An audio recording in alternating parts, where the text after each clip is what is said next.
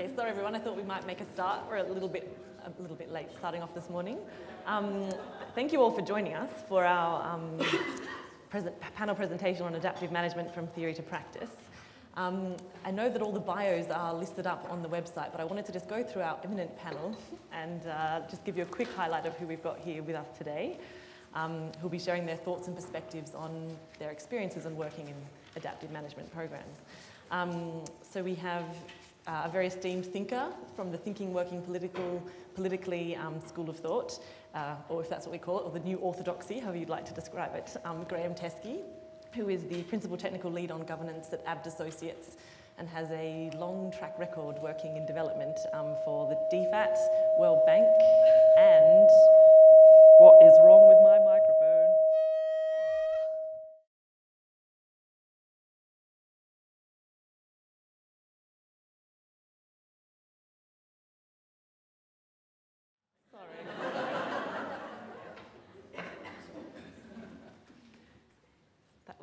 I imagine dogs here like that.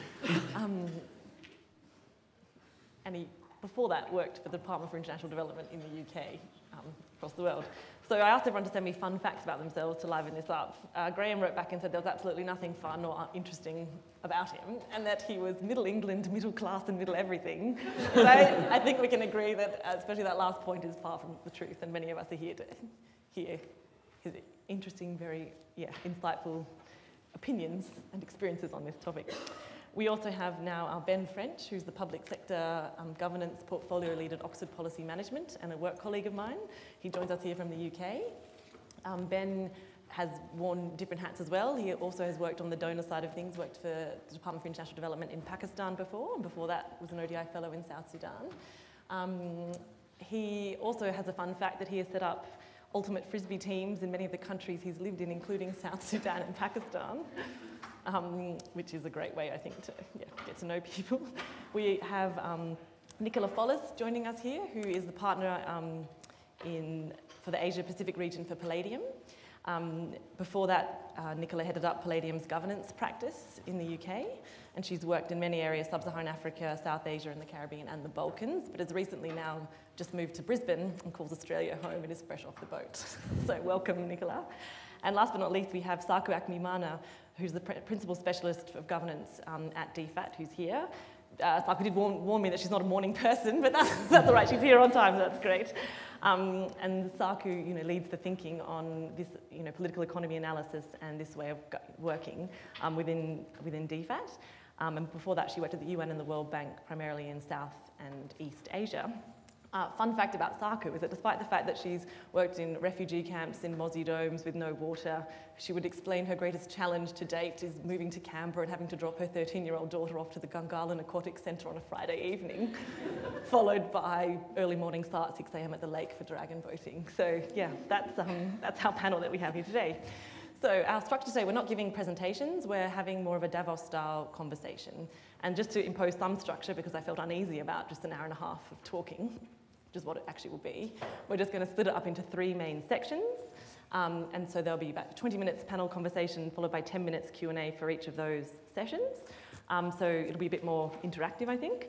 Um, so yeah, so, just, so, today we're all here to talk about, you know, the, how we can find ways to implement flexible programming within the context of a more increasingly results-driven agenda.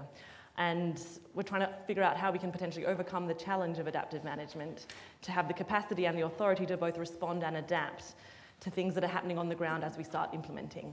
Um, and so talk about some of the three key challenges that we will be discussing today will be um, one, this issue about failing fast and learning quickly and adaptation. The second one will be looking at the challenges to getting the team right for adaptive management and the people who can work in this way the most effectively.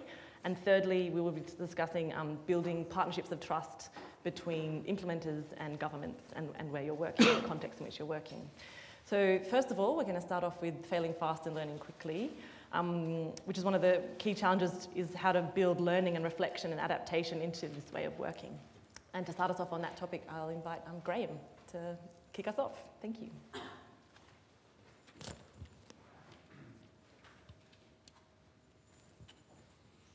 Okay, thank you very much, Annie. Good morning, everybody. I know that some of you have, um, out there, dubious pleasure of listening to me before, but for those of you that haven't, let me just explain why I sound like I do. It's now 17 years since I was working for DFID in Kampala, um, where I was identified with what the doctors told me was advanced, aggressive, and, uh, in their words, incurable throat cancer. So they had to take away my vocal cords and put in this little bit of plastic which enables me to talk. So please, I would ask you to bear with me. But if I say anything that you don't quite understand, i.e. you don't hear the words rather than make any sense of what I'm saying, um, just ask me to repeat it. I'm used to it by now. Okay, thank you, Ali. Let's talk about, um, I want to focus particularly on the learning aspect of this phrase, learning quickly and failing fast. I want to approach it in a, a slightly unusual way in the sense that for those of you that have worked in the area of public service reform, capacity development over the last 20 years, you will recognise a, what has now become a sort of a conventional way of assessing the chances of success. And that's looking at all the, at three levels, the institutional, the organisational, and the individual. And in public service reform, public service management, capacity building, capacity development, whatever you call it, the general consensus is that external partners are not bad at making progress at the individual level, providing training, providing kids, helping the individual understand their job. Donors aren't bad actually at the organisational level helping with job evaluation, grading, expansive control, organisational structure, you know, long-term vision, all that sort of stuff. But the real weakness in trying to bring around sustained change in public service management, organisation development, is the institutional, the rules of the game, the incentives that motivate and animate. So that threefold level of analysis, the institutional, the organisational, the individual, is a conventional way of assessing PSR. And as I say, the conventional wisdom is it's, it's at the institutional level that we're failing. My view on adaptive management, and this is basically from the last two years working on three large multi-sector facilities in Papua New Guinea, Indonesia and Timor-Leste, which were designed along PDIA lines my, my judgment is that the reverse of those conclusions about PSR apply. I think the incentives are there, but it's at the organisational and at the individual level that we fail completely.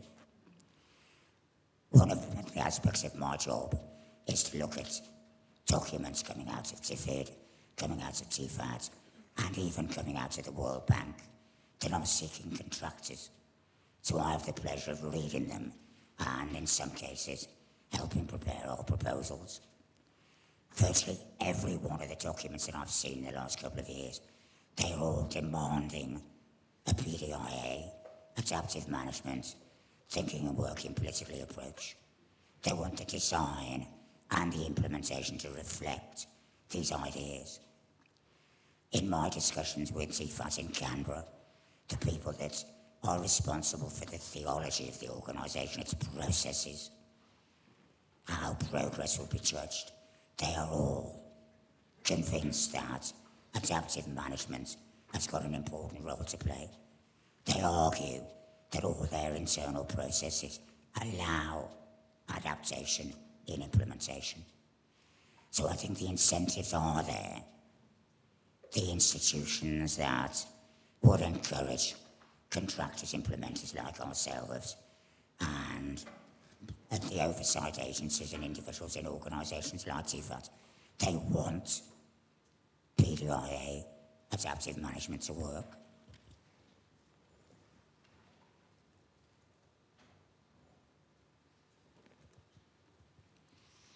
So the incentives are in place. But in my experience, that's not translated into organisational initiatives or individual competence or capability to learn and actually put PDIA into place. Let me just explain that a bit more. Let's look at the organisational level. The key thing, the one overwhelming defining feature of adaptive management is that three things are done simultaneously. You implement, you monitor, and you learn. Unless those three things are brought together, then you're never going to have a PDIA, adaptive management approach. So your organisational structure has got to bring together the responsibility for delivering the activity, monitoring it, and learning from it. And even in, I'm not sure I should say this, but even in the programs where I work, for some reason that I fail to understand, monitoring is linked with evaluation and separated out to a little bunch of people that live at the far end of the corridor. And if you ask your implementers for data, how their program is going, what's causing success, what's causing failure, they will invariably say, well, that's not my responsibility. The monitoring people do that. And that structure is replicated in our development partners, in DFAT, in DFID, in the bank. The responsibility for monitoring and evaluation. First of all, they're two completely different things. They're lumped together and separated out. So there's a real organisational imbalance in the way we think about structuring our responsibilities to give our adaptive management even the remotest chance of success. So that's at the organisational level. And I think at the individual level, in many ways, it's even more complicated. And this comes on to the second question about, well, it's got implications for the second question about getting the teams right. If you think about what are the skills required if you are going to implement, monitor, and learn, they are very, very demanding. Sorry, Graham, I might interrupt you there because we're going to talk about that at length in, in the next section. Can I have But one more minute to well, finish I was point? just going to follow, yeah, I was going to say the, the failing. um, what you require that those individuals, they've got to be able to analyse, they've got to be able to understand what's going on. So it's analysis, analytical skills. Then they need to assess what are the implications of what's going on, how do we know what's happening, what the implications are. And finally, they've got to be able to adapt. They've got to reach a judgment about the extent to which they need to change. They are remarkably complex skills, and we expect our program implementation staff to be able to do that. Thank you. And I was just going to ask, have you, do, do people acknowledge their failures or, or how do you, or any of you, feel that with this adaptation, it means you need to, with this portfolio approach to this way of managing, admit when things aren't going right? I mean, has everyone got experience of where that's happened and track has been changed? I don't know, Saku, do you feel that this is something that has happened in the programs that you've worked on? Or Before I get to that, donor, I, yeah. I think I have something to, to add to what Graham said, and that is this, uh, the whole idea of adaptive management and the PDIA model is around learning. Learning is at the centre, experimentation, learning, adaptation. And the whole idea came out of the work that Lant Pritchett did on capability traps. And it's looking at the process of national development. And in, in, those, in, in those processes, you know, these happen over long periods of time. There's an endogenous feedback loop from the experimentation to the, the adaptation. There's a political system, uh, a political and administrative system that responds. And, and we're trying to mimic that somehow in, in a compressed program project cycle with something that is, you know, externally imposed. So some of those ideas, you know, are going to be very hard to, to, to implement because we don't have that endogeneity of the, of the feedback loop and the, you know, the, the, the biggest, uh, you know, the biggest development story of our lifetimes, um, the, the um, China pulling billions out of poverty. At the centre of that is a, a, an extraordinary learning culture within uh, the, the, the, the Chinese Communist Party, which uh, basically had thousands of labs of experimentation um, with clear high level development outcomes um, oh, you know, at the, at the top um, and, and some accountability structures from, this, from the centre. So again, I think we have to have some humility um, and modesty in, in terms of what we can do through a, through a project. Um, and uh, yeah, I think, I think uh, it, so, so all I mean, I agree with all the points that, that Graham makes. But, you know, I think the best we can really do in term is, define some clear high-level um, objectives. And, and, and those should be relatively modest because, um, again, you're not going to have transformative change in a five-year, even a, a you know, seven-year project. What you can do, though, is you can be there when big stuff might happen, when a crisis might happen, when some extraordinary, when, when something shifts, um, an equilibrium shifts, and, and uh, you have an opportunity to do something big. And there you have, you're there, and you have the relationships, and you can act. So I, I'm just suggesting that, yeah, the project model and our bureaucratic mm. modalities are still, you know, lagging way behind the thinking. Yeah. Maybe if I could come in from the angle of, uh, in, um, back in the, the governance portfolio I managed in the UK, we had about eight programs which were at varying degrees of maturity and we're all trialing adaptive management approaches in, in different ways and all faced their own challenges and had different contexts. Um, the sort of granddaddy of them all was the State Accountability and Voice Initiative program in Nigeria. Helen Derbyshire up there was uh, very involved in that, and a lot of the learning that we had was coming out of some of the experience they had over eight years. And I think one of the things we found, um, I completely agree that um, you know, learning, creating learning forums for program teams is important. I really liked Graham's point about the you know, separation out of um, M&E and technical and operational. We found that a really key factor was enabling a team to work together as a whole bringing them together. Um, and often a lot of the challenges were actually operational program management, not just technical, or bringing them all together into forums where they could really thrash out, you know, what was emerging from evidence, you know, what this meant for adapting work plans, adapting theories of change, and so on. I think more recently we've had a couple of programs where we've, we've been looking at the problem of license to fail, which is very complex actually in the current environment. You know, in a lot of here in Australia, certainly in the UK, there's political pressure in the external public domain um, we find in some programs, which te they've tended to be the smaller ones, which are a little bit under the radar, which have been set up to test, uh, and th these kind of approaches. Um, we've been trying out some things like building into the, um, the results frameworks actual indicators around failing. Actually, it's okay to fail providing you do it quickly and you learn from that.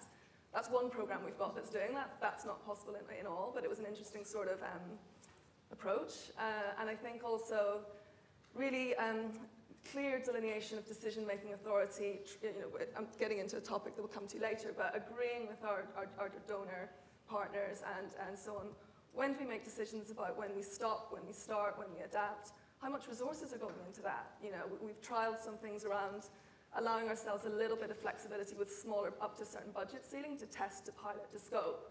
But beyond that, if we're going to invest in something a bit more, it has to be, you know, approved with more in-depth theory of change analysis and so on. So these are all things we're trialing, but yeah, it's, it's definitely a, a, evolving sort of feast, and I very much agree with both of, of what Saku and Graham were saying in that regard.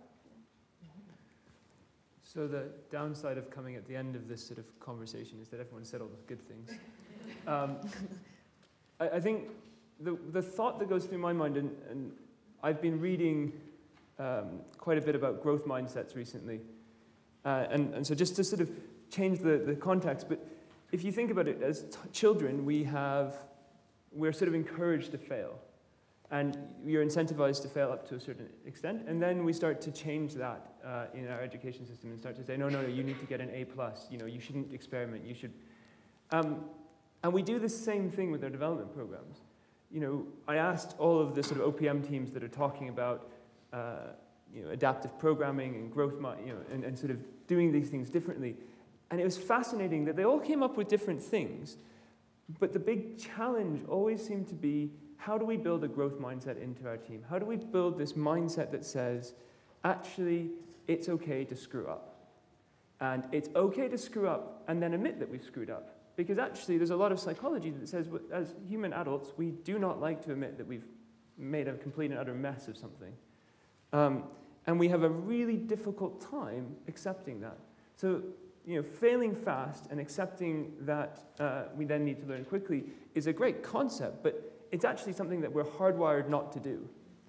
And then on top of that, when we started thinking about this thinking and working politically, we actually hire people and we say, please invest your political capital, your social networks, in making a project work. Oh, and, and by the way, in five years, it might not be around and you'll be completely screwed over uh, because it didn't work. So how do, you, how do we manage that process, right? They have a massive incentive not to fail, to minimize their risk, minimize their exposure. At the same time, we, we know that actually if we're not encouraging failure, we're not going to find the, the solutions that actually enable uh, success. So I, we looked at, I looked at one of our programs that actually does set up the PDIA framework really effectively, and it, it's, it's got some sort of, it's making some really good progress. And it's, you know, it does the implementation, it does the monitoring, it does the rapid learning, and it's actually closed down a few of their projects. Uh, it's called MOVA, and, and it's in Mozambique. You can look it up. It's a really cool project. Um, but the key point about that was I asked the team, what makes it successful? And there was absolutely no agreement on what was happening in the program that made it successful. Some people thought, okay, it's, it's the fact that we build in the theory of change. Some people said, no, it's actually it's the way we've structured the team. Some people said, oh, you know, the M&E person, of course, said, no, it's the, it's the monitoring and evaluation and learning cycle. Um, and so and my personal view is that we have a fantastically dynamic and enthusiastic and committed team leader who's desperate to make this work. And she is just bashing people's heads together until it's acceptable to fail. Uh, which brings us sort of into the, the next conversation, yeah. so I'll, I'll, pause there. But, but that's just a sort of a reflection for me. well, I was going to say I'm failing totally at timekeeping on this panel, but um, that's fine. I think it's a good discussion anyway. But now, if anyone has any questions, we've got time for about three or four questions if anyone would like to jump in now. Just raise your hands, and if you can tell us your name and who you're representing today, that would be great.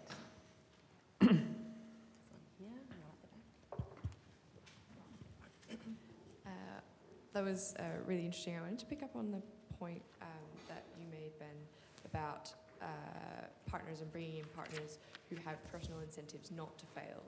Um, uh, sorry, my name's Caitlin. Um, I work at DFAT, but I'm a, be completely open and say I'm a contractor, so I'm one of those people that has one of those incentives not to fail. um, and I've been involved in projects which have failed fast before and watched my contract disappear into a puff of smoke. Um, do you think, um, because the environment that we work in now is very um, dynamic between how donors operate and how implementation teams operate, um, and there's a lot of uh, work that goes into how we structure um, implementation and contracts and all that sort of jazz. Is, is that one of the main, do you think that that's one of the main challenges, that, that incentive um, for, between donors and implementers um, to maintain those um, financial relationships, which is obviously a, ch a, challenge that AIDS worked with for, a long time. Um, but do you think that this mindset is really um, coming up against that, uh, that problem, particularly for NGOs who have limited resources um, and when they get involved in these projects, they can't necessarily invest in in projects that might fail as much. Mm-hmm, yeah. Do you want to do And I'll let you take that one. Yeah, maybe you answer that one, and then the microphone can be up at the back. I think I saw another question up the back. Yeah. Um, oh, there's two up the back. Yeah, perfect. So, so I mean, I think, I think, and I suspect that the other panelists have, have views on this as well. I mean, Graham started by saying it's not just about, you know, that we've actually the incentives, the, the, the, the theology that's coming out of donors is is not necessarily wrong. It, it, you know, it's, it's positive and it's positively encouraging this. I think it's a much more subtle issue, and it's, it's interactions at different points, right? So if you're a civil servant, your career is, is made by progressing uh, and demonstrating successful programming and showing that you can manage upwards, that you know, ministers don't get hacked off because something's gone wrong and they've, you know, they have to be dragged in front of parliament. So the incentives within the civil service, not, not what theoretically the civil servants want to do, but the incentives not necess don't necessarily support that. So it takes somebody in the civil service who's determined to make it work. I also take somebody in the supplier relationship, and we're, we're going to come on to that, I think, in the, in the sort of third question, but who can have trust with the, with the donor to say, actually, look, this is not working, we need to find a way. So I don't think it's the, the structures. I'm actually looking across OPM's projects. Every single one of our adaptive programs has a completely different structure. So, you know, and some of them are phenomenally traditional log frame structures. So it's not that the structure is, is important, it's the people within it and the ability to manage those, those dynamics, I think. I think there are two more questions up the back and then we can move on to people. Hi, thanks very much. My name's Annie Major from Adam Smith International. Um, I'm really interested in this session because um, we do a lot of market systems development programs, as you know, um, and I think there are a range of players um, in the room who uh, have been applying similar principles in these in these types of projects and others um, for, for, many years. Um, so, from a program perspective, I think there's been a lot of adaptation already applied during implementation. My question builds a little bit on the one before in terms of your views on the extent to which donors, I guess at a strategic level, are ready for and flexible to deal with um, this type of programming, particularly in um, political pressured environments, um, and whether it's realistic uh, within short program timelines um, for them to, to be able to accept and, um, and support this way of programming.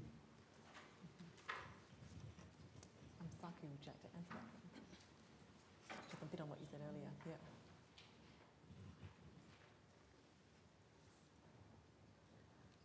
I think um, in, in, preparation for this panel, we had a little bit of an exchange, and none of us had ever seen a bet, a small bet that had been dropped because it was failing.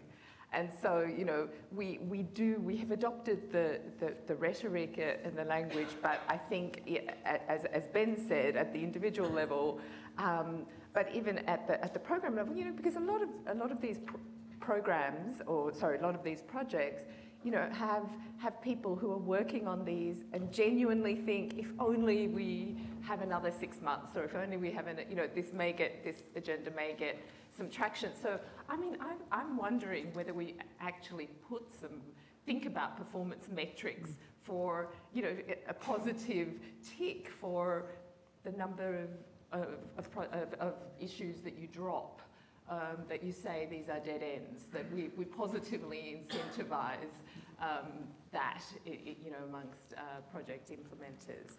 Um, I, I'm a little bit more, uh, but less uh, optimistic than, than you, Ben, on, on, the, on whether we've really got it right in terms of incentives. Um, I still think that in donor agencies, and this is both at, at DFAT and, and, the World Bank and other bilaterals, that the that staff incentives, certainly in the donor, is, is still to, to um, focused on project preparation and design rather than implementation. And, um, and, and, and all of certainly in my experience at the bank, getting something through the board, that's your, that's it, you know. Um, you move on and your success in implementation catches up, it never catches up with you because the evaluation happens like eight years later and uh, you're already, you know, somewhere else. Um, and, and so, I mean, I think, I think uh, bilateral environments are, are, more accountable, but um, in, in, in, that sense, but I, but I still think that uh, it's the front, the front end of projects yeah. that, that, that, uh, that the focus is on. So I'm just bearing in mind in time, I mean, we can have one more question or we can move on to people. Um, but, oh, look, all these questions, it's fabulous. We might have just one more question here, and then we'll move on, um, and there will be two more times for questions later. And it doesn't matter if we, yeah, ask questions later that are about everything. Yeah. Okay. Oh, sorry. Okay. Yep. Thank you. Morning. Uh, my name is Hamish Nixon. I work on decentralization and citizen participation in Papua New Guinea, and I'm one of the people that Graham can't understand why I'm unable to create programs that monitor, implement, and learn at the same time. Excellent. I think one of the reasons why is that the, the, the problem specification that we often use to have this conversation um, is a bit of a straw man. It tends, it tends to focus on a simple kind of assessment of what we're trying to do, which is there's a donor and they would like to achieve development outcomes, and there's an implementer and they would also like to achieve development outcomes, and they're having a little bit of a tug of war about how much freedom versus how much accountability should exist. And I don't think that describes most bilateral aid relationships and projects at all, or very well. It doesn't describe multilateral ones particularly well either, and that there may be a clue in that why we see some of the success of these programs popping up in NGOs and fairly autonomous organizations.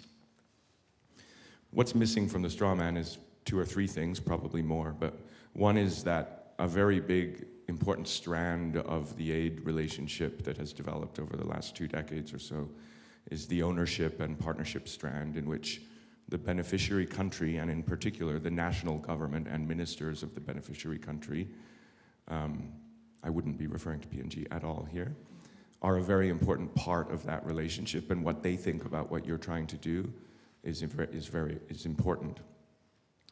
And fairly pie in the sky ideas about being adaptive and flexible may not sound the same to the beneficiary as they do to the practitioner.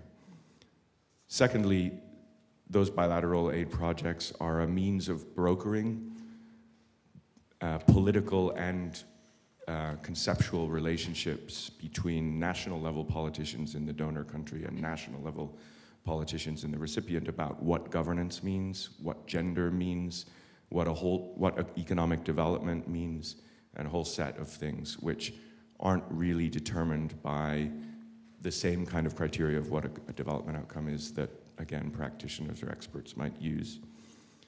And the third is that the implementers and the, and the donor officials are prospectors in the sense of prospect theory, and they are in the perfect definition of a situation that creates risk aversion in behavioral economics because they see very high quantifiable potential losses to when things go pear-shaped and very uncertain minimal gains when things go well.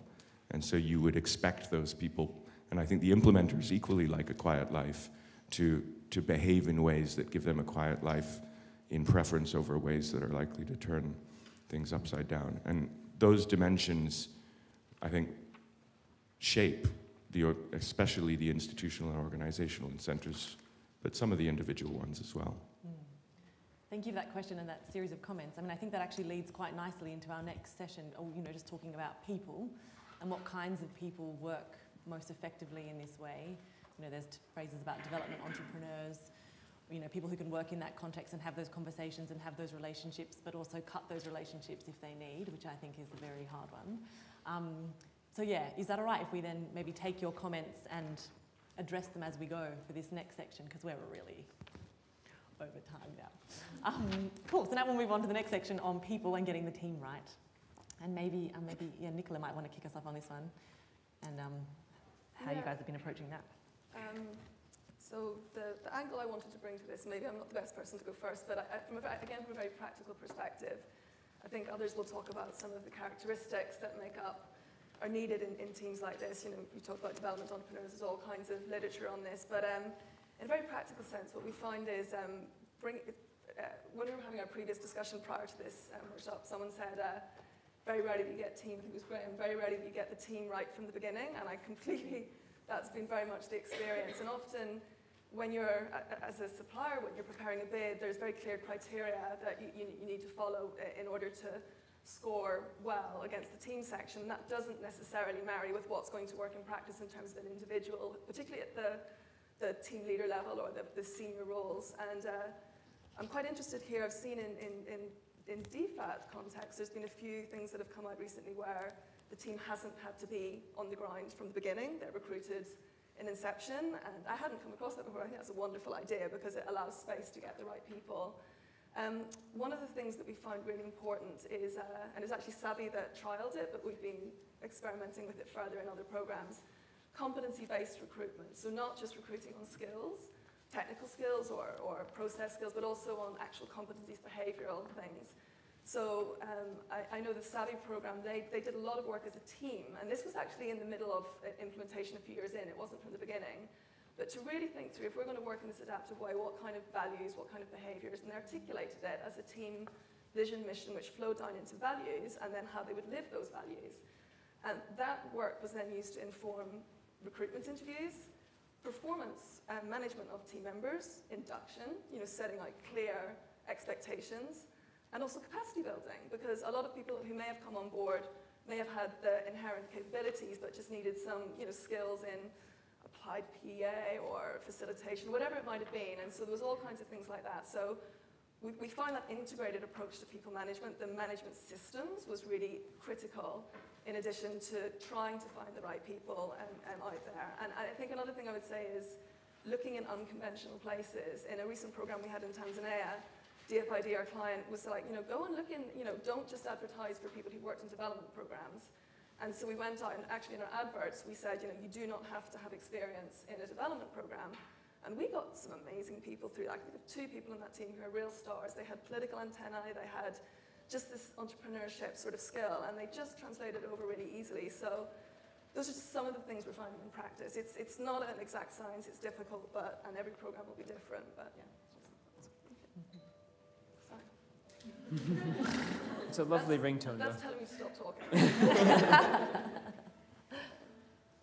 And so you wouldn't say that looking for these sorts of um, development entrepreneurs or the people that are getting the team right, that they're not total unicorns that don't exist, that we're not kind of trying to find a combination of skills and people who are so self-critical that they're willing to admit failure, but you know, work well in teams, but also, I mean, for me, it's always that element of that self-reflective element that's excellent, but hard and challenging and then might make you just question everything. You know, if you start going down that little train of thought too much, then you might just find like it's all too hard and it's all, you know, that kind of thing. So I'm not sure if anyone, do we feel like they're unicorns or we've found people like that that, that really exist?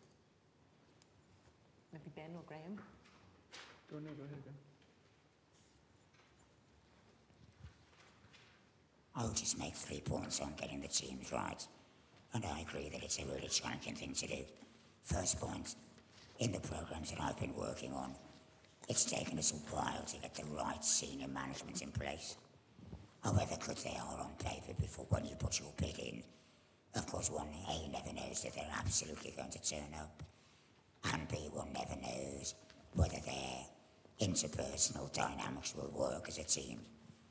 And also with the person in charge, you need a mix of a strategic vision as well as operational management, and they're sometimes difficult to get in the same person. So senior management is a continuing challenge. Second point about teams, it's interesting that we all genuinely want a greater role for nationals in our teams. They've got the relationships, they've got the networks, they understand the country in a way that outsiders never ever will. But then again, I'm going to speak bluntly. When it comes to assessing the performance of contractors, my sense is that DFAT, and I don't know about DFID at the moment, but I'm not convinced that DFAT value it. They value the elegant minute with no typographical errors. And often that is not what people working their second, third, or fourth language can offer. So sometimes we've, we have had rows with our funder about our staffing portfolio, so our staffing profile, sorry. So that mix of nationals and non-nationals um, can be tricky. And then the third thing comes back to organisations. If we are going to merge the monitoring, the learning, and the implementation, then you've got to make sure that you co-locate resources and responsibility. You can't separate them out. You've got to make sure people know what their responsibilities are and they've got the authority and the resources to do it. Thank you. Um, I mean, it, it sort of sort of fo- follows on from that. Um, I, I, guess I sort of, when I was thinking about teams, the, the, first thing that came to mind was that none of us disagreed that the team mattered, but none of us could really think of ex- examples. There's some examples, but none of us could think actually there's this one way we've done it and that we really just get it right every time. It's sort of this hodgepodge. So we were sort of all in agreement that this was really important, but none of us actually could think of how, you know, how, if you could distill it to two or three things that actually worked, there, there wasn't anything. So I think that's, that's a point in itself. And I guess I just, it's more of a challenge to the room. I mean, one is, especially with big uh, consultancy firms um, and, the, and the sort of su- supplier contractor model, the way aid is done uh, through the, that model, is it actually, does that actually work and lead to adaptive programming? So it's a, it's a big question I have. You know, should we staff, have more staff who are technically uh, internal, we, we manage them ourselves, we can make it easier to co-locate, uh, we can build teams over longer periods of times across projects because they're not all contracted for that specific project, or should, you know, or is there another way of doing it, the competency-based type of recruitment? But that leads to a challenge to the, to the donors as well. Um, you know, I can't think of very many technical proposals that I've written where the team hasn't been one of the most highly scored parts of the proposal. So you're building in an incentive to the supplier to find the best CV that looks the best, that ticks all the boxes. Whether that person is actually going to be brilliant or not, that doesn't really matter. So I think, and I think DFAT does it a bit differently with their interview-based approach as well. But I definitely think in the DFID market, that's a huge problem. And you're seeing some adaptation and some change, but you know, on one side you have suppliers who have a, an incentive because of, you know, there's fund flow risk and so on, to not necessarily take on large staff costs and to build staff over a long period of time.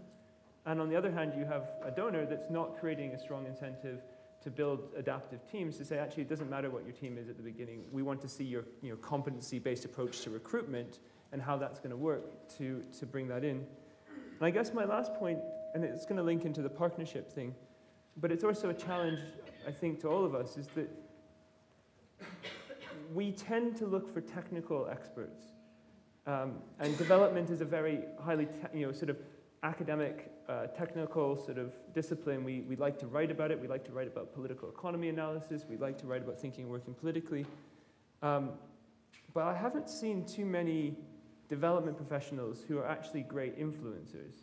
The soft skills of being a politician, of being a diplomat, aren't necessarily the same as being a good academic and being a crit you know, critical partner and a critical examiner. Um, but when we talk about adaptive programming and the sort of working closely with country governments, what we're actually talking about is having um, an agenda, saying this is actually what we're trying to achieve, and, and actually influencing and working towards it. And so maybe a silver lining in the sort of increasing alignment between foreign ministries of foreign affairs and, and development agencies is there are some skills that can be shared from the political beast into the development uh, beast. Uh, and I sort of speak of that from a little bit of personal experience because I, I had to wear both hats when I worked in Lahore. But it's just there's sort of more challenges to the room because I think, I think we need to be more critical about ourselves when it comes to how we structure teams um, and can we actually get it right.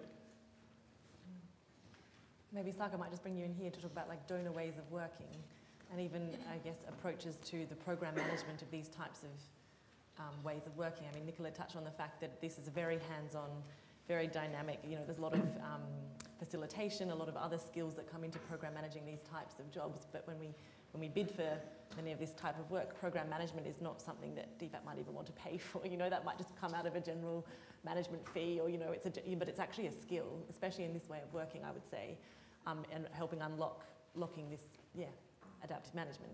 Um, so yeah, I wonder if you, if you have anything to touch on about that, about donors' ways of working in this space.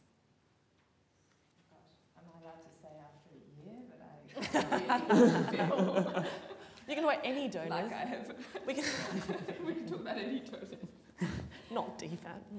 Um, I, I, I do think, I mean, Graham, uh, Graham's point about national staff and how we, how we tap into that expertise and not put a premium on, on beautifully written documents, etc. I mean, that, I mean, that is, I, I, I um, agree 100% with that. But I mean, I also think that uh, the,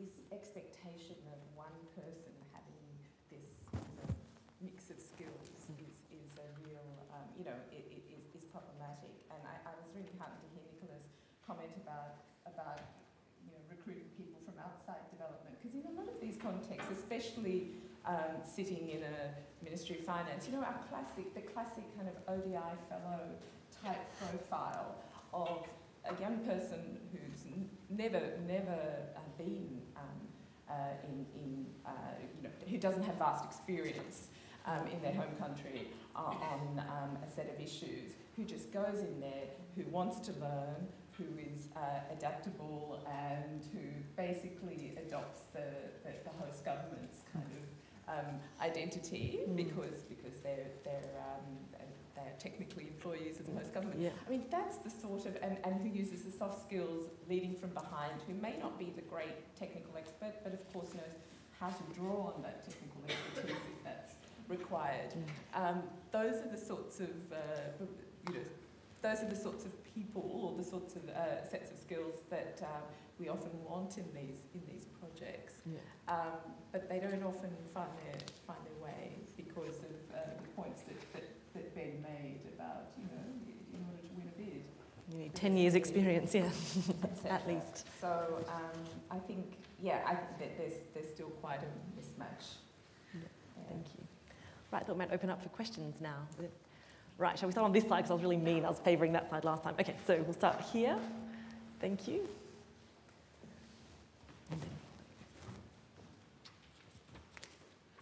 Thanks. Uh, I'm, excuse me, I'm Sam Chittick. I'm the country representative for the Asia Foundation in the Philippines, and I have the, the pleasure of working on a program called the Coalitions for Change, um, which uh, some of the people in the room here have interacted with over the years. Um, a couple of observations. One on, uh, on that last point, or Ben's point. Um, I don't think that the role of um, the development practitioners in this context is the doers. Uh, I think it's really a facilitation role. Uh, and the way, so if you translate that into, into our context in the Philippines, we have at the moment 14 reform agendas that are going on under one umbrella program. It's my job and the, the job of our team to manage the structures, the reporting, uh, but we have 14 teams that are all led by, uh, by Filipinos with you know, passions and connections and networks, the basic ingredients that go into the successful reform. Um, and it's really our job to make the resources uh, and uh, the support necessary for them. And there's a, you know, there's a mentoring a guiding role in that as well. Um, but really, if you look at you know, what goes into achieving Reform X or Reform Y, we're the minor players. They're the ones who actually lead the work and are there in the front lines every day. Um, so I guess the, rather than looking and trying to assess whether or not the development practitioners have those skills, I would say that's a, maybe the wrong question. We should be looking at how they how we have the skills to facilitate rather than to do. Uh, and related to that, um, Saka made the point earlier about uh, dead ends and failures and so on. I think it was a really interesting uh, discussion. Um, but I think it can be done. Saka, you were saying there's no examples that you can think of. Under the Coalitions for Change, we have seven uh, uh, investments, reforms, whatever, that didn't go anywhere. Um, there's a book that's in production at the moment, um, written by my colleagues Jaime Faustino and uh, John Sidel from, uh, from LSE. Um, and I was trying to encourage them to put in a chapter about called dead ends, um, because I think that's a really useful learning process. DFAT uh, are calling it stoppability, which is a horrible word, but, uh, but captures a really important concept, right? How do you know at what point, or how do you give up at some point and say, we've tried and we didn't get where we thought we, thought we didn't get far enough. Um, and so out of that, there are we can we can do case studies on seven of those where we invested time and energy and networks, and you know, ask as Ben was saying, we asked national uh, decision makers and policymakers to invest their capital, and then we had to say, you know, sorry, this didn't work out. Um, but you know, you you can do that because you build up a relationship over time, and you have the you have enough capital to be able to, to do that. So I think there are examples there, but it comes back to creating that architecture and the structure which gives DFAT the confidence that we're investing in the right things in the right way. Um, and we have a frank enough and open enough relationship to be able to say, look, I'm sorry, we started this last year and we haven't got any you know, far enough, or there's a real obstacle that we, we can't find a way around, so we will take the resources and move on. Sam, I think that Saka might have a question for you in return. Yep. How, how what was the reaction um, from DFAT uh, in those, you know, with, with those seven cases? I mean, w- w- was was the was there incentive for you to to to to say that uh, to say these are going nowhere, and was the response accepting of it? DFAT is not uh, uniform, right? So there are different perspectives within. Um, and even, you know, and, and, things change as different, uh, particularly at post, you know, as, as post officers come in and out, uh, and personalities and perspectives and backgrounds change. Um, overall, I think it's a very positive, it's been a very positive discussion. And when we raise the prospect, certainly in discussions I've had, when we raise the prospects of ending something, it's never a kind of a wrap over the knuckles discussion. It's a real, oh, okay, so why? And then trying to dig into, you know, what it is and, and holding us to account for, you know, have you exhausted all the avenues? Have you really thought it through? Um, so I guess it comes back to having the technical uh, depth and competence to be able to say, you know, yes, we have done all of our work, and yes, we are we're really, uh, and we haven't, haven't just blown your money, but you know, we tried, uh, we tried hard, and we have to be able to demonstrate that, and that's part of the way the monitoring and evaluation comes in. Um, but secondly, having the relationships of trust to be able to say, frankly, you know, we've just spent $140,000 and we didn't get anywhere. Um, you know, sometimes for, at the level of, you know, the working level in a closed door discussion, that, that works well. In an open forum where we're talking about taxpayers' dollars, it's a much more difficult discussion. And certainly if you, you know, if you then amplify that. Of course, in, in the reporting, you have the opportunity to contrast that against the successes and all of the, the good stories. But um, we haven't found a way internally of telling an effective story around those failures, or documenting for public consumption an effective story, um, which is why I was trying to encourage the team to do a chapter on that. Um, but I think collectively, as a, you know, as a group of people interested in these issues, we're also still not very good at that, whether it's called stoppability or whether it's called, you know, whatever term we choose, and I hope it's a different term. Being able to extract the lessons and present it in a positive way and saying, you know, we spent 140,000 on this, didn't get anywhere, but we've extracted something from it. Mm-hmm. Thank you. I'll take two more questions. Yeah, so as, as the mic moves around, I just Yeah. think it's, it's I'll take the important, two here. it's, it's worth sort of just saying that, I mean, Coalitions of Change is actually a really interesting program. Um, you know, Innova is a very interesting program, Foster is a very interesting program, but they are still the minority of programs. I mean, Jaime is a phenomenal individual. I would argue he's a phenomenal influencer of DFAT, of, of people he works with. He's a facilitator as well, but he is good at selling his message. And I think, so when I talk about influence, I don't necessarily mean you shouldn't be an influ- uh, a facilitator as well, but I think it's really important that we start to recognize that we have these programs that we've put up on pe- pedestals and said they work really well. And those programs then become self reinforcing. You can do more of, of the good stuff in those programs. But what about the rest of the programs? How do we bring those up? And, and, I, and, I, and I worry, I mean, I've listened to Jaime speak a number of times, and I'm always quite blown away by how convincing he is and how good he is at influencing DFID and influencing DFAT. And I think that's an important skill, but it's not a skill that necessarily we reflect and think, you know, recognize. Like managing that relationship is very, very important. Um, so it's just, I, I completely agree, and I wasn't trying to sort of say we, all, we need to be political influencers, but I also think that we need to be careful about saying coalitions of change does all of these things and we can replicate that in something else. Because there are, there are a lot of programs that are trying to do what coalitions of change have done and haven't had the same success. So, so Okay, take the one at the back and then the blue shirt. Yeah.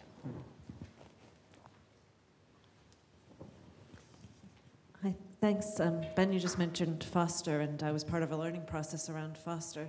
And one of the things that struck us with that is what a fantastic national team they had in Nigeria. Um, you know, the program would not have had the success without such a great team.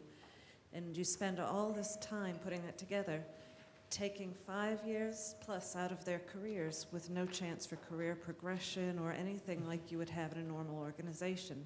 And my understanding is after the sort of extensive learning that went on with that in the second phase, they've tried to figure out ways to bring in a much more flexible staffing structure that looks like a proper organizational, um, a place where the, the local team can grow mm-hmm. rather than just taking a big chunk of their working lives out and then leaving them with nothing at the end, in effect. Mm-hmm. And I was just wondering if you've experienced that in other programs where there's almost been an obligation to the, to the local teams, which it would not be possible to succeed without, mm-hmm. to progress. And I, I had this as a note for one of the comments about donors, but I, I think one of the challenges that I'm finding from within, from being within a bilateral agency now, is that um, most people accept that there's something to adaptive management and believe intuitively. There isn't a great evidence base, and I've got a really dear friend who talks about um, PDIA, TWP fanboys and fangirls, and how there's a little bit of a cult around it, and how that might actually stop some of the learning across the organizations, and if there's a way where we can think about that. Yeah. Shall we take a few questions now? Maybe I'll do that because there's three. There's some very eager hands here. I've got a blue shirt here and then another blue shirt up the back. Um, and thank then you. There's, and then there's one over here too. So Uh, three more. Chris Yeah. From La Trobe University and Developmental Leadership Programme. Um, Dani Rodrik wrote an re- interesting blog recently about the difference between interests and ideas, and he, and he, and he defined interests as con- congealed ideas. And I'm just wondering if what are the congealed ideas that's, that lie behind why this is a prob- this is difficult to do. And I'm just wondering, the principal client notions of accountability seem to be we're stuck in those. We can't escape And that then means we have a certain form of recruitment, we have a certain form of evidence that we privilege, we have a certain way of knowing that we privilege. And I guess my question really is what are those what are the delegitimization of those kinds of ideas that needs to go on for this stuff to really uh, get traction mm-hmm. thank you and then i'll take yeah the shirt the, sorry yeah glasses and then yeah i'm so sorry to be so objective i just don't know now. I just want to say Chris's blue shirt's nicer than mine. So. yeah, I should have said vibrant patterned shirt. Yeah. Getting in first.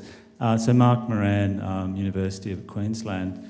I, I, I just um, I just want to draw you out. It just seems to me like we're this this is a very kind of in principle conversation that's been going on for a while now, and um, we really.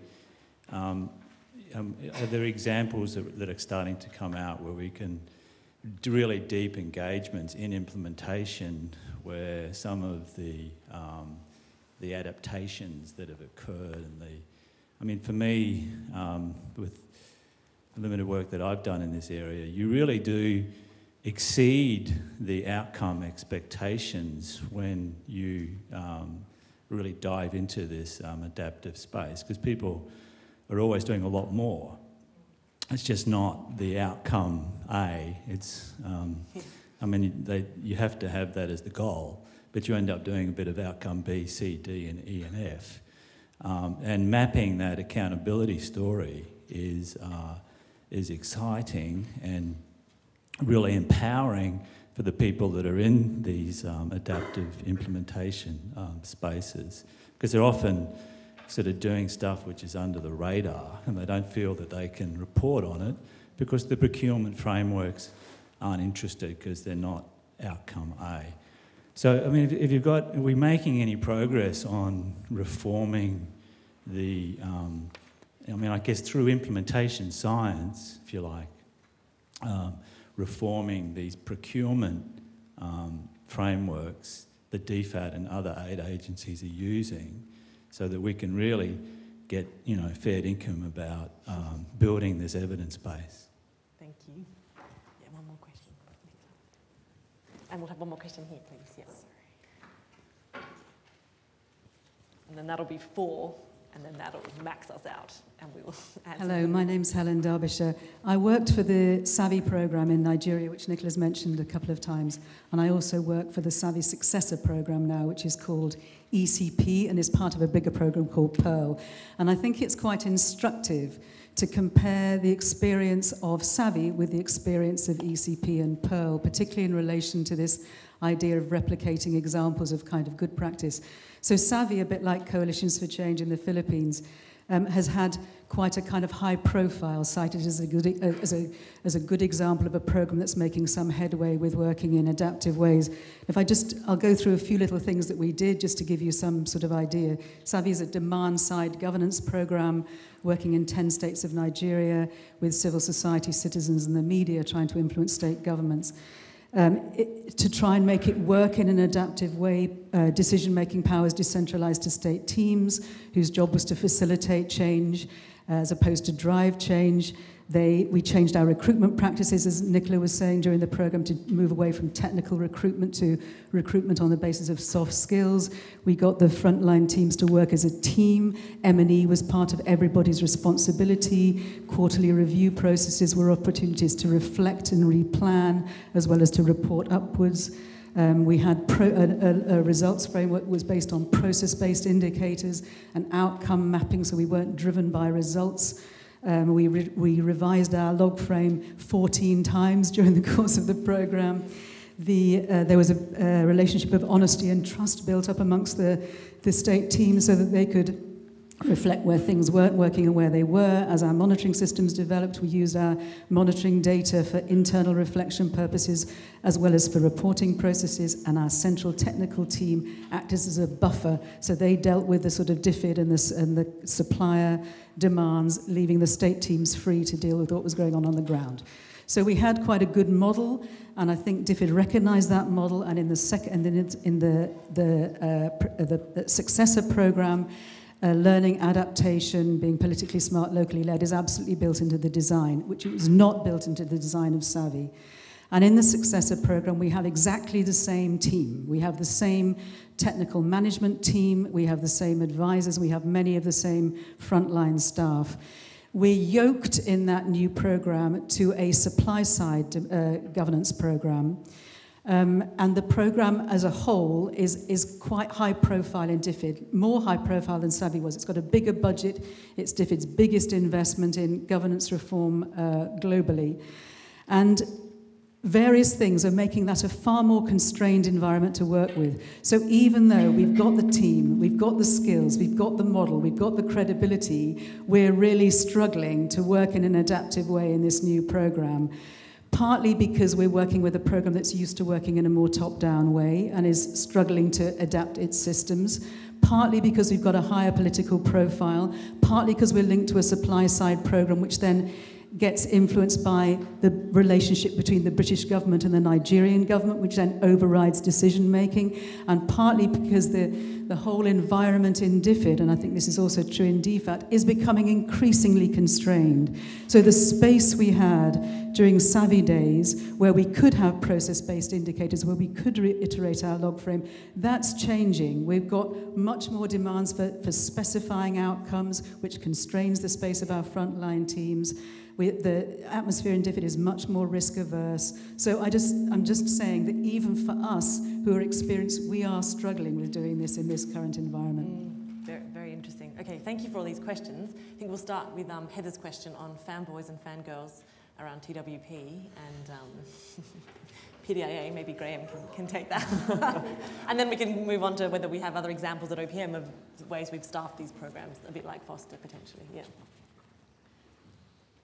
Okay, uh, the, the evidence base.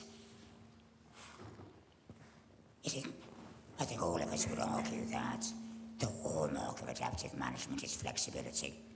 And flexibility is in two parts.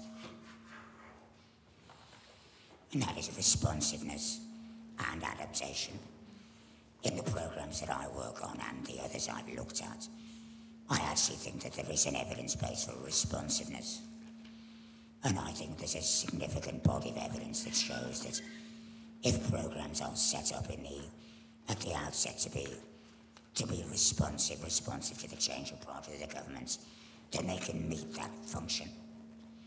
Where I am less optimistic is in adaptation.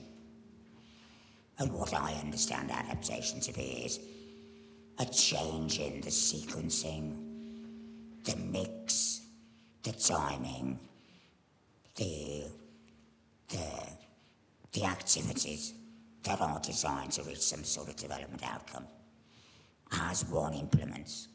I've seen much less evidence that teams are alert enough to be able to know in real time when to change, let alone whether to test the donor to see whether resources can be shifted in the way that we would like.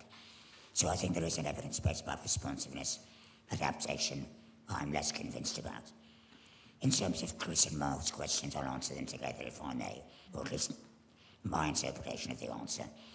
Um, Chris, you asked what should be delegitimised. And Mark, you were saying, what is it that um, we're accountable for? I think the answer is the same to both questions. I think that implementers, whoever they are, need to be less accountable and we need to delegitimise in adaptive programming the outcome level. And we need to be far more accountable for three things. The quality of our selection at the beginning.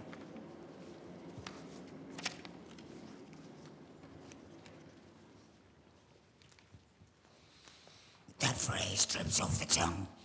We need to do things that are technically feasible no, technically desirable and politically feasible. Much of our selection remains focused on what is technically desirable. I've not seen much evidence that formally, at the project selection stage, there's an explicit consideration of what we judge to be politically feasible. So I think that's one area where people like me and Abt, and probably OPM and Palladium, we need to be accountable for the activities that we choose. That's what we should be accountable for. Secondly, we need to be much more accountable for the quality of our analysis of why we think a particular course of action will lead to a bunch of outcomes. And there's a big difference between the theory of action and the theory of change, which we won't go into. But we need to understand why we think doing A, B, and C will lead to X, Y, and Z. What's our theory of change? Why do we believe the interests for the change will overcome the interests against it? We need to be accountable for that. And I think that we need to be much more accountable for our decision taking as we move through the implementation cycle and give us much less accountability for the delivery of the outcome. Thank you. And then anyone want to answer Mark Moran's question around um, accountability frameworks and procurement frameworks within some of the donors, potentially DFAT, and whether they feel like they're responding and changing to some of the elements that we've all spoken about here today? Was that, yeah, I think I got your question right. Thanks. Thanks, I. I mean, I, I can, I can, I mean, I can pick it up, but from a from a sort of putting on my my DFID hat from a few years ago. I, I think, I think there's just an inherent tension, and I. I was talking to the, the UK's Cabinet Office recently, and we were having this fascinating conversation. It wasn't about development. And, and they were saying, well, one of the biggest things that we do as the, as the implementation unit in the Cabinet Office is we, we try to get the legal guys and the, and the policy guys to sit down and, and actually have a conversation when they're trying to change the way they, they deliver something, the, you know, the, the implementation science. Because often what happens is you have a series of policy decisions that are you know, about adaptiveness, and you have a series of procurement decisions that are not related to that at all.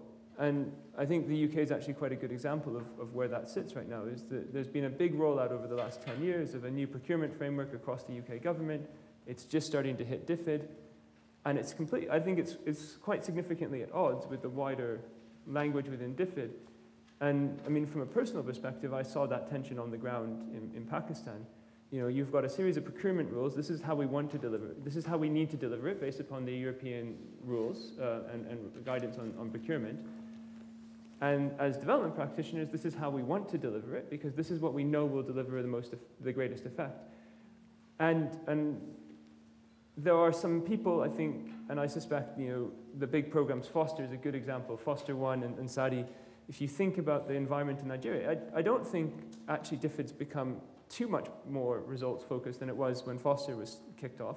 I think that you just had a higher tolerance of risk appetite in, in Nigeria in the head of office at the time, who was actually quite skilled at managing the dark arts of that procurement tension and that sort of like internal bureaucratic tension and the policy development tension.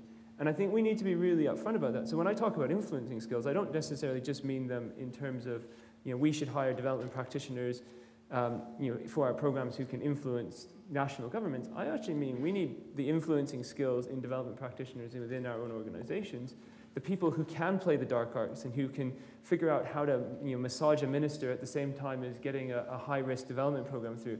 I mean, I think it's amazing to this day that Foster, which is this massive oil and gas program, super high risk, um, you know, really high profile in, in, Nigeria in the terms of if it, you know, we, we separate. We don't, the Foster team doesn't believe that they work for OPM, they believe they work for Foster. And there's no OPM branding on Foster because it's so political, the oil sector, oil revenue management, that it's just not talked about. And I think it's, it's really important to recognize that, that, that managing all of those tensions and, and figuring out how to do it is, is, a, is, is the dark arts of, of being a good bureaucrat and actually how many development professionals get into DFID or other organizations because they want to be a really good civil servant and manage all the fun Whitehall politics that, you know, everyone loves dealing with the Ministry of Defense, right? Um, so I think, I, think it's, uh, I think it's something we need to acknowledge that to make these programs work, it's actually, it's a, it's a coalition of a lot of people across a lot of different parts of the, the sort of development cycle. Um, yeah, and I think that brings us nicely to our third session, which we obviously don't have a huge amount of time for, but we're still going to touch on it anyway, which is just getting that relationship right between the donor and the contractor, building these relationships of trust so that we have the, you know, the right people who can have these difficult conversations that, you know, that Sam was talking about. I mean, Heather, just re- relating to Foster, I know that the Foster team in Nigeria, they apparently have a weekly or sometimes even a daily phone call from the DFID office to find out what's going on and know when it's appropriate for DFID to step in and when it's appropriate for them not to be at the table. And I think that is, you know, I mean, Saku's touched on this, but it's a different way of, of donors working. It's not just the design of that program, it's being in the nitty gritty of the implementation, but also knowing when to be part of that and when to step back. And that requires a real level of trust. And so, yeah, now just ask the panelists all to touch on that, on how they think this can be achieved or examples where it has or hasn't. Yeah. Go for it. Anyone. I think, um, again, uh, trust is, is, is earned, um, and I think and it's a two ways, obviously a, a, a two-way street. I think um, here, and this has been much talked about in, in, um, in, in other fora, um, I think, you know, DFAT as, as, as, the, as a, um, the donor has to set the high-level strategic direction of, of these, uh, of these um, programs and then trust the expertise of the implementer. Um, but, but that's much, much easier said um, uh, than, than done. In one instance of one of your um, facilities, Graham, um, I saw a, a sea change when your team leader arrived. And then finally there was a, a breath, okay, wow, there's a development professional who has extensive comparative um, knowledge of this field, and, um, and, and, and you could see the high com kind of you know, letting it go and, and, and trusting the day-to-day, releasing, getting rid of the micromanaging because they felt that they were, you know, this was, this was someone they could trust. Um, at the same time, you know, there's been much discussion internally about, about the skill sets within DFAT and development capability and building that up again um, in, in a way that, uh, that is able to provide sufficient strategic direction to the, to the contractors because um, you know, this is obviously um, a partnership um, and, and we're all trying to, you know, the, the North Star is, is our, the development outcome, but also doing something, you know, working positively together to that development outcome. And we can't, we, we simply can't do that without, um, you know, kind of a, a little bit of role clarity about what this way of working entails and, and the appropriate skill sets within the donor and the contractor. Yeah, I would, I would agree completely with all those points. I mean, the trust has to be earned and We've had similar examples of, you know, a, a, a, donor getting very involved because they didn't potentially trust the team we had in place, and then when we replaced particularly team leaders for someone who they did, you could just see the relationship shifting. So I agree with that very much. I've seen that several times. Um, I think it's interesting to me that it touches on a point a few people have made. A lot of the programs at the minute, which where we're actually making a lot of progress, are smaller or small to medium size little bit under the radar. I mean, it's what Helen was saying there about the experience in Nigeria. The current program, PERL, as a big, um, as a large program, really high profile. And, you know, the risk appetite has just shifted because of all kinds of factors. So some of the programs where we're doing some quite innovative work, the, the, the, the, the advisors within um, DFID, they've got a bit of capital, they've got a license to let us do that. They've almost built the case internally and they're, they've created the space for the program because they want the learning out of it, you know, what works, what doesn't. In a bigger program, and also to be fair, they, they're very clear that we do have to achieve results. So they're allowing us a little bit of um, leeway to test, to model through all these sorts of things. But actually, if we're not coming up with some sort of results, that's going to be a problem. And this is where the, the kind of shared risk and the accountability comes in not so common here in, in, um, in, in, this context, but payment by results is a, is a thing that we're, we're really struggling to, in the UK context, to, to, to, to balance with adaptive programming. And some of the sort of shared risk type models we have are things like, um, you know, not defining outcomes up front, but having, say, a basket of outcomes that potentially could happen. And out of those, if there's 10 you know, potential ones, if we can get two of them, that's where we have hit you know, the mark. Or another one is where, you know, we, we, we've put some, you know, payment by results on an outcome at the very end of the program, but what that actually is is not going to be defined until about a year or a year and a half before that stage. So there's various things that we can do to build accountability, to build trust, and so on. But um, yeah, that relationship is key. And, and where it works well, it, it does have an effect on the program. And, and where it doesn't, again, it can hold the program back.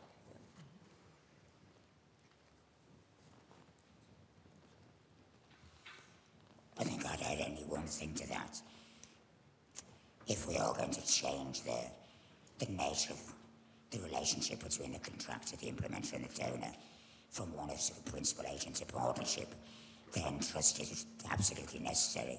But as uh, Saku and have said, it's got to be earned. In, um, in my experience over the last couple of years, the issue has largely been around basically staff makeup on both sides. My organisation was establishing program design and management teams from scratch. Many were employed directly from leaving jobs with DFAT, so they brought those skills and competencies mainly around delivery. So from the word go, we did not have that sort of ability to implement, monitor and learn together um, simultaneously. And DFAT were going through their own change management program where their staff probably wanted to continue doing what they always wanted to do. So as well as not having that sort of high level trust, not having an agreement that we're accountable for high level outcomes and the flexibility to adaptive space to, to, uh, to manage it all we thought, thought best. We were very much responding to the needs of the funder. And it's absolutely understandable in the context of those three particular programs. One has now been going for four years, one has been going for two, and another has been going for two and a half. And in one particular instance, the degree of transformation in ways of working and the trust relationship is remarkable. In another one, we're halfway down the process, and the third, we're probably a third of the way down, and the responsibility is recognised on both sides. On both sides. Um, but that's very much a work in progress. I might just bring you in here, Ben, because I know that you've worked for DFID and for OPM on the same project in Pakistan. So you've actually seen both sides up close. Well, I don't actually work on, on that project in Pakistan. I should just clarify that because okay. that would be a bit of a conflict of interest. Um, I, I, I actually just wanted to, so we, we sort of all agreeing that, you know, obviously partnership really matters, and so I don't think I need to sort of say anything more on that. I think the the two points that I wanted to make, and it links to sort of my experience being a political uh, representative in, in Lahore working on this big subnational governance program, but also representing the UK's national interest, um, is, is that a lot of this conversation has focused on our relationship as development practitioners with the countries and the, the places and the projects that we work on. But I think we need to recognize, and it comes out in some of the comments, that a lot of our, the, the, the people who are contracting us are not necessarily always development practitioners, but they, they have a massive political economy of their own to manage, and, and not all of them are always that skilled at doing it. Um, you know, but I think, I think it's really important that we, we recognize that the world has changed a bit. You know, UK national interest uh, in, in the DFID market is not going to go away. Uh, obviously, with the merger of AusAID uh, with DFAT, you know, that's become something that's at the forefront. So I think my big lesson in, in Pakistan was, well, how do you bring the two together? How do you deploy the political savvy of the High Commissioner to help move a program forward, to help unblock something when your local team says, no, actually, this is an issue where having the High Commissioner say this would make you look better internationally potentially would be a good thing for the Chief Minister to hear. Um, how do you use that, that sort of more dynamic, more complex relationship to try to actually have more of an impact, to think and work more politically, to build the soft skills, but also to make sure that your team's starting to understand what the constraints to the donor are. So one of my frustrations when I was in the donor uh, world is the lack of understanding from the consultancy team about what my constraints are. What are, what are the deadlines and the pressures that I'm under? And I think that's just as important as recognizing from the donor side what are the constraints that the supplier is under that we're putting a supplier under. Um, and if we're going to build strong partnerships, the recognition of those types of constraints is, is as important as you know, whatever we do to build a shared log frame and so on, because we have to, everyone has to feed a beast of some for, form, you know. Maybe in academia, but even in academia, you, you, you, have to feed sort of the publication beast, right? So everyone's always feeding a machine and is working to a set of incentives. And, and the challenge for us as development practitioners is to maximize, to minimize the, the, the, the perverse and negative incentives and to maximize the positive incentives to build strong partnerships. And that takes, that takes really skilled individuals, but it, it also takes a huge amount of effort and a focus on things that we often don't see as, as the primary, of primary value. They're not going to be the things that, you know, in, in the um, uh, coalitions for change. Sort of building those relationships aren't necessarily the immediate things that you think those are going to deliver the development impact, but those are the things that enable the delivery of development impact longer term. So maybe that's sort of the point on partnership that I would just end on. Mm, thank you. Okay, I think we have like maybe time for two questions. Depends how short the questions are. Maybe try and keep them short and we can try and get through a bit more. Um, yeah, we'll have one here please. Thank you. And then here and here. Three questions, but please try and keep them short because I've run over. Sorry. Hi, um, my name's Minwa Voon from Oxfam. Um, we're now in a phase of experimenting with our ways of working internally and externally at Oxfam. And as part of that, we're working quite closely with various design, tech, and innovation companies. And I think that there's a lot that we can learn, and then I think there's also a lot they can learn from us. And we've already kind of come up against some limitations where, okay, we work in quite different worlds. In your experience, like, have you seen from, like, with this, these ideas of failing fast and testing and pivoting, have you, I'd be interested to hear from you what you think we can learn from the private sector outside the development world, and maybe what are the limitations, like where we're just going to butt up against a wall? Cool. Does someone want to start answering that while we get another question while the microphone goes over? Or you want to um, well, so it's it? interesting. DFID's doing a lot of thinking, build, trying to build in agile management. Um, and, and this mover program is one example where they talk about sprints and so on. So um, I think there is thinking, but more could be done. Okay, your question? Yep. Uh, my name is David Osborne. I'm a research fellow at the Lowy Institute and development economist. So I'd like the panel just to um, put into their minds the environment we face here in Australia um, and to think the question I ask about um, and, and, and to, to, to, think about your answer in terms of Papua New Guinea, Pacific Island nations. Um, ben, you're making some wonderful points about work in other jurisdictions, which are really useful.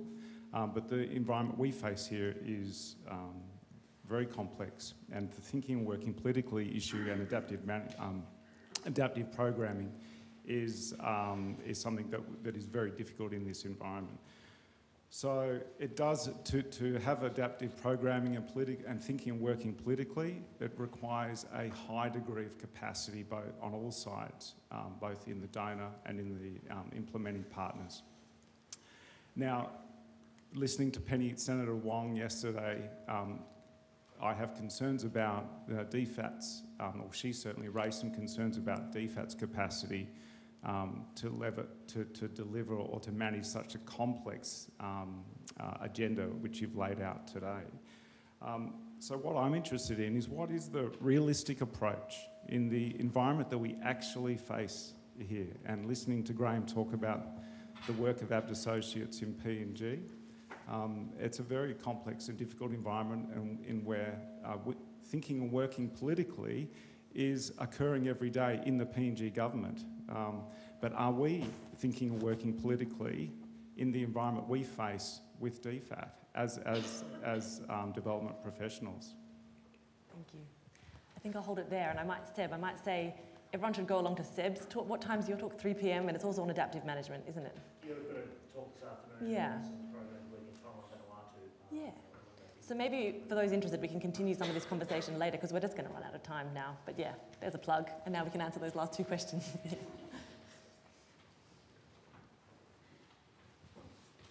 Thanks, David. I think that most of our staff in the office in Port Moresby think and work politically all the time in certain dimensions. My bottom line is that that thinking politically is not translated into working politically explicitly in terms of our programming. I think our staff know full well the pressures that the Papua New Guinea government are under, and they know full well the strategic importance of PNG to Australia. They know full well the pressures that the High Commission staff are under. So in that sense, they think and work and breathe and live politically. But we're not talking about that. We are talking about the extent to which an understanding of events, dear boy, events, what happens on the ground. We are talking about the extent to which what happens on the ground, the extent to which we can deliver our development objectives are every day, every week affected by stuff that happens and the extent to which they will respond appropriately. We're not talking about people thinking about, oh, the High Commission have got to deliver this report to Canberra. They do that all the time. We are talking about the impact on programming. And that's where I think there's a big gap.